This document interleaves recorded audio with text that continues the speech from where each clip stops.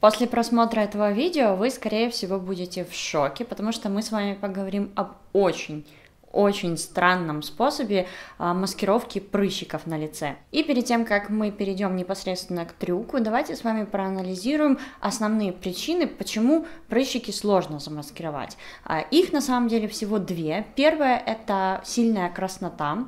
А, если прыщик воспален, то его, в принципе, вот эту красноту очень сложно перекрыть тонально. Что же касается второй проблемы, то это текстурная проблема, потому что любой прыщик создает своеобразный бугорок, который даже если очень круто перекрыть тонально, то а, все равно вот эту текстуру не спрятать. А, с первой проблемой, в принципе, уже достаточно просто справиться, потому что на данный момент существует очень много косметических средств а, с легкой текстурой, но при этом плотным покрытием. Поэтому а, красноту замаскировать уже не так сложно на самом деле. Что же касается текстуры вот этой вот бугристой, то как раз таки вот с ней больше всего проблем. На самом деле, если проанализировать, самый простой способ что-то замаскировать на лице – это а, замаскировать эту вещь под что-то, что естественным образом у нас на лице есть. И если проанализировать, что вот создает вот такие вот бугорки у нас на лице, догадались, нет, это родинки.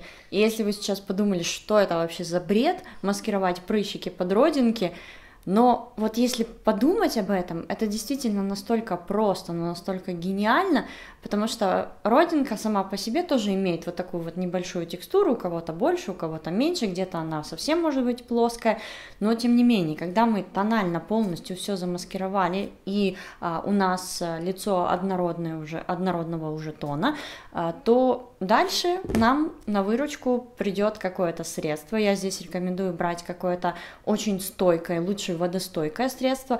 Я сегодня этот трюк выполняла с помощью геля для бровей, как ни странно. Это гель для бровей от NYX, водостойкий и оттенок брюнет. А, очень классно подошло по оттенку. И, кстати говоря, я вам рекомендую а, поиграться, найти действительно тот оттенок, который похож по цвету на ваши родинки. После того, как вы уже нашли то средство, которое вам кажется, что подойдет, все, что вам осталось сделать, это взять какую-то очень маленькую детальную кисть, лучше всего кисть для подводки, и сделать своеобразные точечки на тех местах, где у вас прыщики. И а, после того, как вы нанесете, главное не делайте какие-то жирные точки, потому что это сразу будет бросаться в глаза. И после того, как вы закончите, обязательно пройдитесь спонжем с остатками тональной основы поверх того, что вы нанесли, чтобы все это заблендилось между собой и выглядело максимально натурально. А, и, кстати, я вам советую, что если вы вот прям тон в тон не попадете, вот Э, чуть-чуть будет отличаться э, цвет ваших родинок от того продукта, который вы собираетесь использовать, то вы можете этим же продуктом пройтись по вашим настоящим родинкам, и таким образом как бы все у вас на лице станет выглядеть более гармонично. На самом деле трюк этот э, давно известный, как ни странно, и им уже очень много лет пользуются в Голливуде, голливудским звездам так делают, и голливудские звезды часто имитируют тоже веснушки, потому что э, покрытие тональное у них очень плотное для ковровых дорожек, для каких-то светских раутов, но когда сверху на тональную основу наносят веснушки, кажется, как будто кожа а, сама по себе без тональной основы, то есть вот абсолютно легкое покрытие, либо это вообще естественная кожа, и вот такие вот имитации очень классно работают в этом случае. Обязательно протестируйте этот трюк на себе и напишите мне в комментариях, понравилось вам это или нет, Думаю, это очевидно, но все же скажу, что, конечно, этот способ не работает э, для тех, у кого очень много прыщиков на лице, у кого воспаленная сильно кожа, акне и так далее. Это лучше всего способ работает для тех, у кого, э, в принципе, кожа достаточно нормальная, но вот